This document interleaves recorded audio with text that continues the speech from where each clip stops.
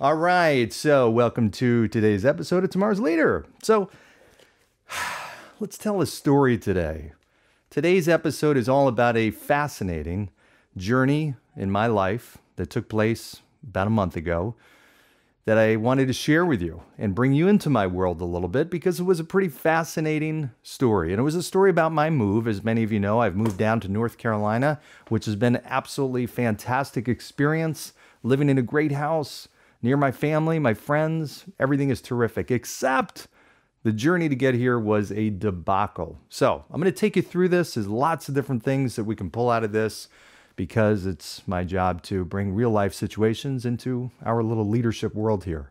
So, uh, this all began when I was looking at different moving companies, and I've moved 30 times plus in my life. So, I've been through tons of different moves. I know what to expect or at least I thought I did. And uh, I was looking at all kinds of different companies and trying to figure out okay, do I use a smaller company, a larger company? And there's benefits and costs and everything to, to both sides of it. And you can never go into it knowing exactly what's going to happen. So, move from Boston to North Carolina, obviously, it's not around the corner. I had a big place, moving into a big place, a lot of stuff. So, I made sure I did a lot of due diligence. I interviewed a lot of companies, I had estimates and this and that. So, I finally get a guy. This was with Allied Movers. I get a guy who comes over to my place who says, Listen, I'd like to take a look and, and give you the estimate. Now, some people actually just gave an estimate online. This guy, this company decided to come out and really give an accurate estimate. So right away, I'm feeling, you know, pretty good about it. Um, and this guy, let's call him David uh, for, for sake of anonymity. Uh, David comes over, and I could not have been, you know, when you meet somebody and just right away you just get a great impression of them. I really did. I mean, David came in. Uh, my daughter was there. Uh, he instantly made conversation with her. Uh, he, he was really friendly with my dog and just the nicest guy. Looked like Santa Claus and just you know, couldn't have been a, a radiated more positivity and just, again, one of these people you instantly like. So, you know, within the first couple of minutes, I'm thinking, okay, this is a guy. Now, this guy not only was there to give an estimate, but he was the person that was really going to be my point person through the entire experience. And that's what he positioned himself as. So it was really, okay, I am here to you know, decide and help you decide are we the right company? And if so, you're going to be dealing with me. I'm the person that's going to help you through this entire thing. So that to me, it was kind of like this concierge that's going to take you through a really kind of challenging, you know, experience, potentially challenging experience.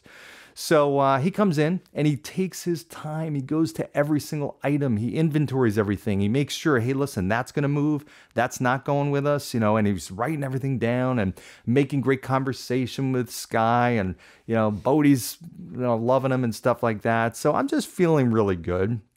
And uh, he's there for maybe a half an hour and he tells me a couple things. He says, Listen, I know how important this move is and I know how stressful it can be. My job and our job at Allied Movers is to take all the stress off your plate. And, and I, my role is to make this go as smoothly as possible and to make you just enjoy the experience as much as you can and get you there as quickly and, and efficiently as possible and with the least amount of hassle and cost and everything like that. And he said, So when things do go wrong, or if they do, I'm the person that's going to handle it for you. Uh, and and I said, okay, well, what's the difference between you? I've got I've got other places that are you know offering low, pretty low estimates, smaller moving companies. He said, listen, you don't want to go with a smaller move, smaller moving company. You want to go with a company that has their own trucks. You're going to have Allied movers, trucks come up to your place. We're going to take your shipment. It's not going to be these other third parties, this and that. You know, so I listened to them. Now, they weren't the cheapest. They actually, he sent me an estimate afterwards, and it was a little, not significantly higher, but it was higher than most of the other estimates. After thinking about it and my feelings with him, I trusted my gut.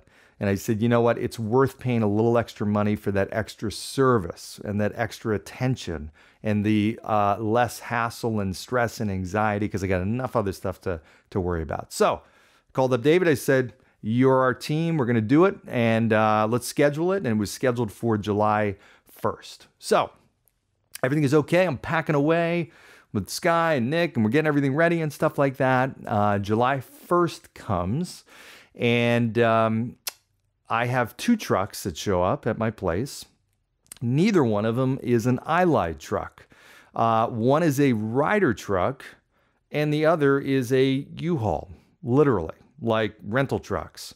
Uh, I, I, asked the crew. I said, "Well, what's? I don't get it. What's what's the deal? Where's the Allied truck?" And they said, "Well, we we had a little scheduling snafu, and and and we have these trucks, and then we're going to load it into an Allied truck." I'm like, "What? Well, that that doesn't make any sense. I mean, really?" So right away, I'm thinking, "Oh, geez." And uh, these guys load, nice enough guys. They come in, and uh, this was a Tuesday. And uh, I was planning everything on the other end in North Carolina. And I'm like, okay, well, you know, I, have got to make sure I've got appliances coming. I've got people installing stuff. I've got all kinds of stuff happening on the other end. So I needed to know when my stuff was going to arrive. Now, the contract I stated, I signed rather, with Allied Movers said that the materials, my stuff would be delivered anytime between July 2nd and July 8th. Now, I've moved many times, I've moved far, far distances across the country, and you can do it in a day. So, truly, July 1st pickup should have been done. I was getting down there the next day, July 2nd, maybe July 3rd. So I'm thinking Wednesday or Thursday. I ask the guys, the movers, and I say, okay, when is this stuff going to arrive at my place? And uh, the one guy says, Wednesday, tomorrow.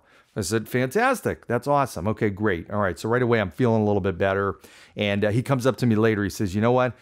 It might not be Wednesday, but definitely by Thursday. I said, okay, that that's okay. That's that's fine. That actually gives me a day to kind of just get everything set up and everything like that. Thursday actually might even be better. I'm thinking in my mind. So they pack up, they get everything in the truck. Uh, it's a long day of moving, and uh, they depart. I depart uh, with Sky. We begin our journey down to North Carolina. Little did I know, I would never see those guys again. Never, never. I don't know where they went. I don't know who they are. I can't even track them. I have no idea what happened to them. But they apparently were just the pickup crew, not the delivery crew, not the crew that would actually take my belongings. Now, again, I've moved 30 times in my life. I've never seen a crew pick up, load, and then pass it off to another crew to make the delivery. So I'm a little, uh, not to say a little, uh, obviously, as I realize this, I'm, I'm concerned. But needless to say, I'm thinking, okay, Thursday, my stuff is going to come. I get everything ready. I'm down there. Well, Thursday comes and goes, nothing. I'm like, well, where's, where's the delivery guys? I call up David, uh, who has been uh, in, in, amazingly and impressively quiet through this whole experience. I have been the one having at this point to reach out to him. Hey, why do I have Ryder trucks, U-Haul trucks? Uh, super nice guy. I understand your concerns. Blah blah blah. Uh, and uh, and and I call him. I said, "Where's my stuff?" He said, "It's it's it's en route. Uh, it should be in the next day or two. Okay, so now this is going to Thursday, now to Friday, now to Saturday. Well, fast forward a couple of days. It is now uh, July 8th, the last day. Now, needless to say, I've had to reschedule stuff, work stuff, appointments, all kinds of things each day because they're delivering the things and I've got to clear out my my my schedule because I got to tell them where it's for those of you who moved, you know that's a busy day. So it went from Wednesday to Thursday to Friday, now to Monday, now to Tuesday. It is now past the window of July 8th. It is now July 9th. Uh, and I'm finally getting a driver who has told me, and basically what I find out is that my stuff was moved into a warehouse in Boston.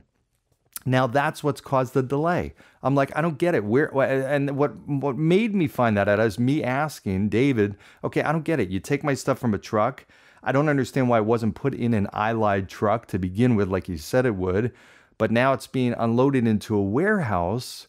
Why is it getting unloaded into a warehouse? And then why is another crew involved to pick this thing up? And why is there a whole nother truck? This just thing is a whole debacle. So finally, by July 9th, I get a call from the moving company, from the driver himself. And he says, Listen, I'm sorry. I know this has been a delay. We've got your stuff.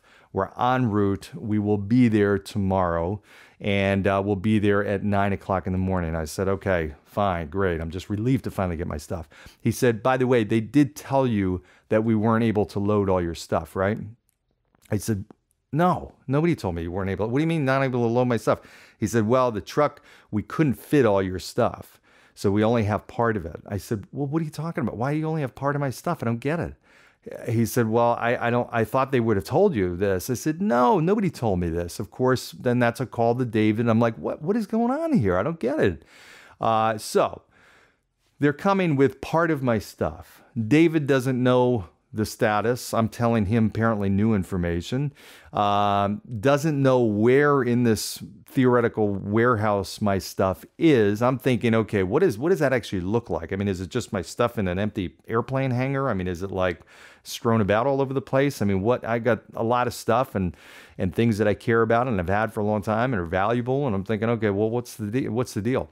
Well, needless to say, all I'm focused on right now is I want to get my stuff. I hope it's most of my stuff. I'm now dealing with the stress of not having everything, but needless to say, I've got a truck on the way. Terrific. Everything's great. I'm, I'm ready and waiting. Well, he calls me that next morning at about eight o'clock in the morning and he says, uh, I got bad news. I've got a flat tire. okay. All right. You got flat tire. All right.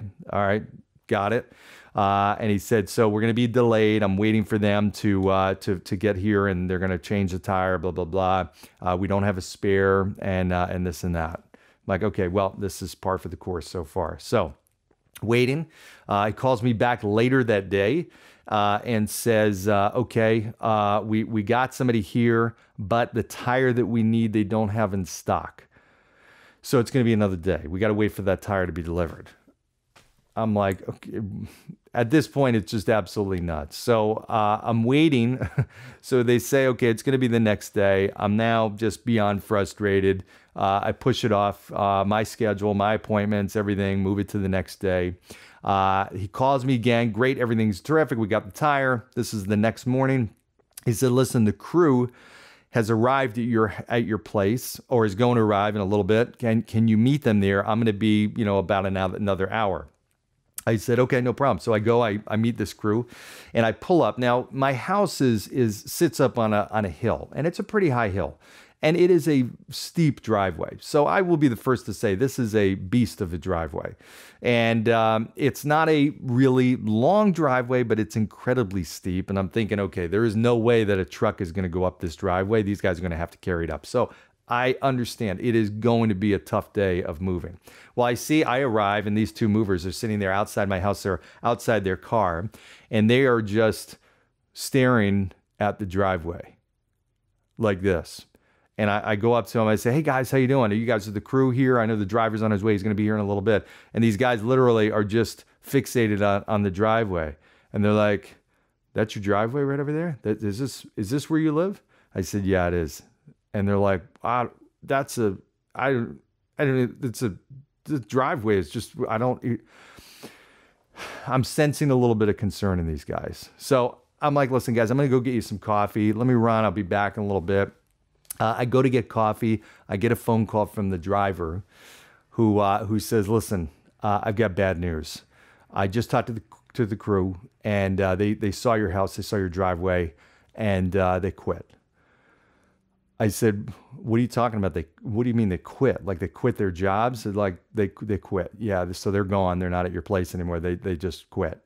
I'm like, "Are you? What do you mean they quit? I don't get it. How do they quit? Don't they have a job to do?" He said, "Yeah, they just they you know they didn't under know know what was going to take. That driveway was just really a, a beast, and apparently it's really steep. Is that right?" I'm like. Yeah, man. I mean, it's a driveway, but people lived here before. I mean, there were movers that got stuff up, and you got you got to be kidding me. He's like, listen, I'm working on a new crew. I'll be in touch with you. We're trying to get it done today. I'm like, listen, this has to get done today. Has to get done today. This is ridiculous. So he's uh, going through the whole day, calling me back and forth. No crew. Bottom line, finally gets a crew. It's the next day. Now we're now delayed. I mean, this is at least a week and a half, if not. I can't even. I lose track of days. Uh, beyond frustrated. And uh, finally, finally, finally, the next day, a crew arrives. Finally, I get my stuff. So they start walking in. Uh, and again, I'm like, all right, let me just hit the reset button. These guys, it's not their fault. These are a new crew. They don't know anything about what's happened in the past. Let me just treat these guys well, get this experience done, and have it be in my stuff as quickly as possible. They start walking in, and box after box is like crushed. like, I mean, this stuff, I'm like, I don't get that, doesn't even look like my stuff anymore. Boxes are just like things are torn apart It's horrible. And I'm like, just put it there, there. You know, I'm doing the directing thing. Here's that goes in that room, that goes in that room. I'm again, I'm happy. I'm in my new place. Uh, and then they're bringing stuff. The guy brings in, walks in with this big thing, and he's like, um, "Where does this go?" I'm like, "What is that?" And he's like, "I don't know. It's your your thing. Your your. It's a big like." huge ugly like christmas tree thing i'm like dude that's not my thing that's not mine where'd you get that from he said it's in the truck it was part of the delivery. I said, dude, that's not my stuff. That's literally someone else's stuff. Someone probably is expecting that. That might be like a, you know, fair family uh, thing that they had passed down, and that might be an important thing. That's not my stuff. He's like, well, I don't know, man. We're not going to take it anywhere. So, I, you know, I'm just going to, I'm to leave it here. We can't take it back. I'm like, really? What? Are you kidding me? So wait a sec. If, if I have somebody else's stuff, does that mean somebody else has some of my stuff? Is that what this is going to happen? Is that what, what I'm going to what I'm going to find out? He's like, I, I don't know. I just you know I was in the truck and here it is. I'm like, whatever. I'm just I'm I'm beyond belief here. So I um I end up uh, leaving. This was maybe lunchtime or so. I went to get the guys lunch want to keep them fed, keep them moving, keep them energized, and then and handling this big hill, which they're doing a great job of the driveway. I mean, it's a crazy driveway. Uh, and I go and, and Sky calls me and she's like, Dad, we got a problem. I'm like, Sky, I don't I don't have the capacity to hear any more problems. What, what's happened? She's like, one of the guys almost got killed. He almost died just a couple minutes ago. I'm like, what are you talking about? Are you kidding? Like, what what happened? She's like, Dad, these two guys were at the top of the stairway with Nick's big dresser, and one of them dropped it and it tumbled down the stairs and it almost hit the guy. And I'm like, okay, that's did it hit the guy? She's like, no, but he was so close. He was so scared. He almost died. And I'm like, okay, so what is he okay? She's like, he's totally fine, totally fine. He's just a little shaken up. He's scared. So he's going to need a little breather. I'm like, okay, so he's okay, but my dresser tumbled down the stairs? Like, did it tumble? Did it slide? Was it a tumble? Was it a full on head over heel tumble? She said, Yeah. I said, What happened with the dresser? She said, It's like really, it's destroyed. It's totally destroyed. And the banister is off the wall now. I can only laugh re- tell, telling the story. The banister is off the wall. I'm like, okay. And the wall is all messed up. Okay. And the carpet is all messed up too. And the, the dresser is just in pieces. I'm like, okay, all right, great. But the guy's okay, right? It didn't hit him. Okay, terrific. Great. I'm happy. Okay. So needless to say, I come back, I see the mess. My the dresser is in pieces. And this was a nice dresser, you know, one of these two drawers above four drawers, blah, blah, blah. Um, I only know that because I had to research replacement costs and all this kind of stuff crazy, crazy situation. So these guys are putting together. I've got my beds, my tables, and everything like that. And you know, you got to move. They got to they put everything together. The guy comes uh, later in the day, and it's to the end of the day, he's like, "We got everything here." He said, "But and now none nothing's put together. No tables, no chairs, no beds, nothing." And he said, um, "We don't know where the hardware is."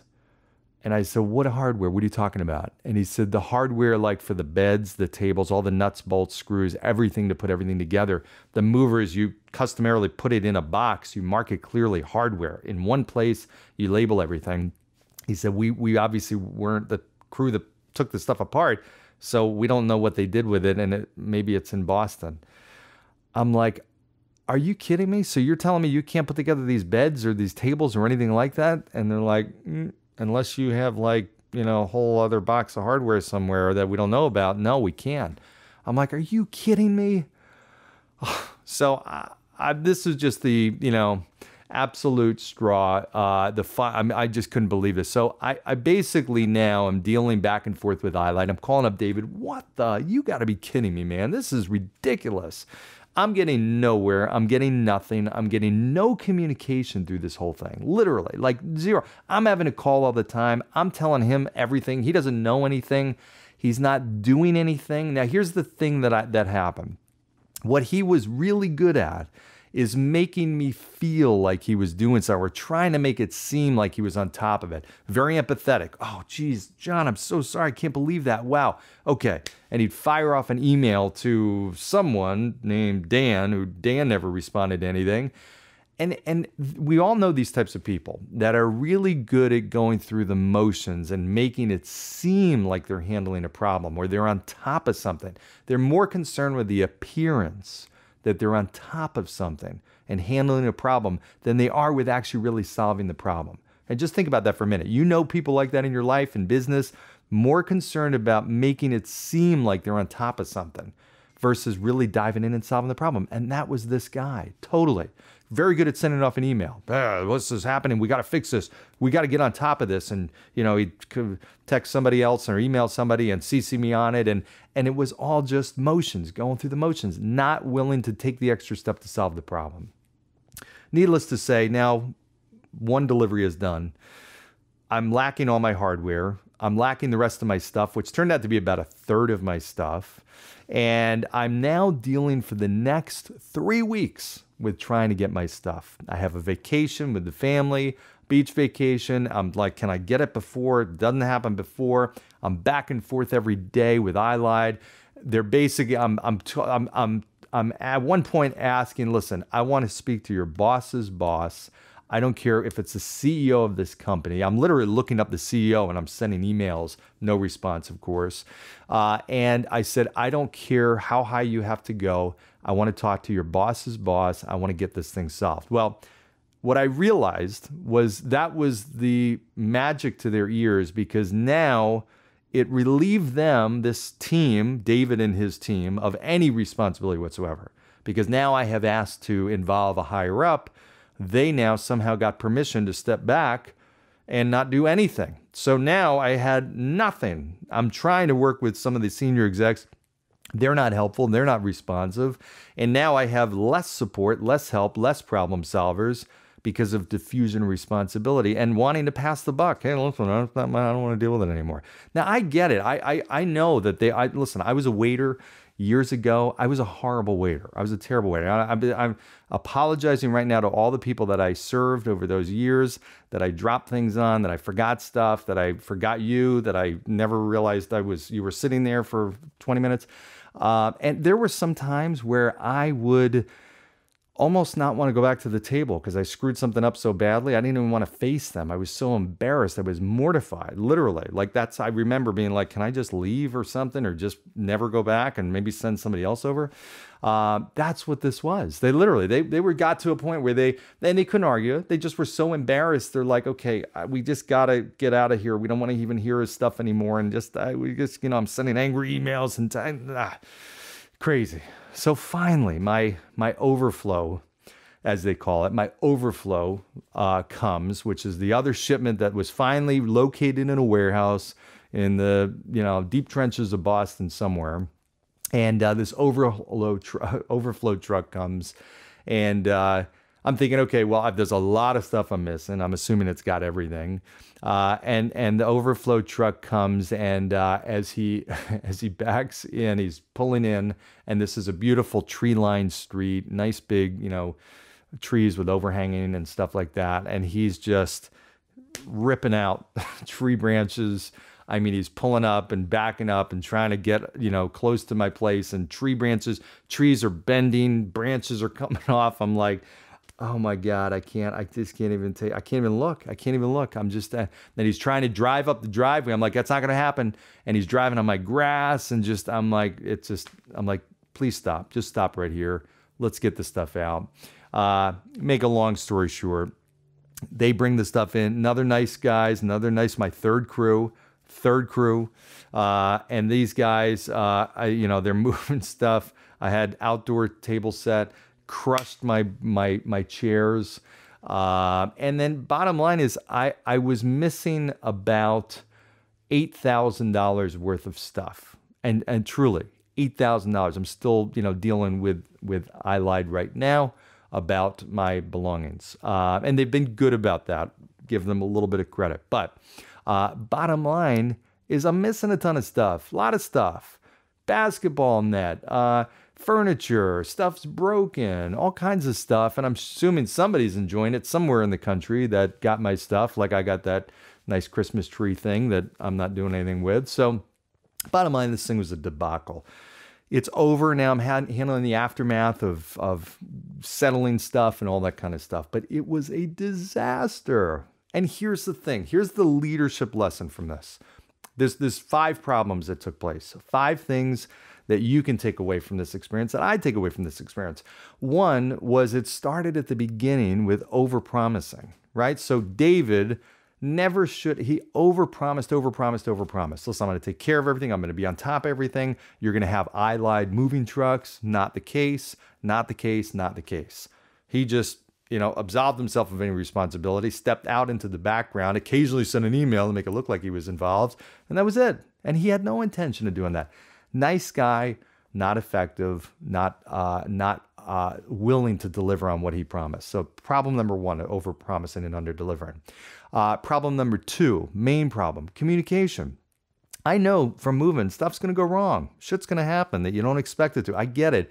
But had he called me the first day and said, hey, listen, you, it's not going to be an Allied moving truck that comes in, but it's going to be a Ryder and a U-Haul. Don't panic. It's perfectly normal. We're just going to take your things. We want to give you the best experience possible. We're going to put it in a. Had he explained everything to me and told me in advance, here's what's going to happen, everything could have happened the exact same way. But had I known about it in advance or had some proactive co- uh, communication from him, I would have been so much better.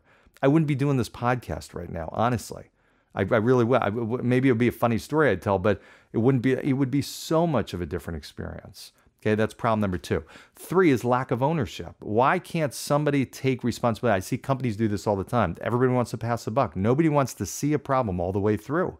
Everybody wants to just create an image that they're doing something enough to get by, going through the motions so that they're not, you know, accused of not doing anything, but and then they want to pass it off to somebody else. We're the problem solvers. Take ownership. As the leader of an organization, you have to make sure people take ownership to see it all the way through.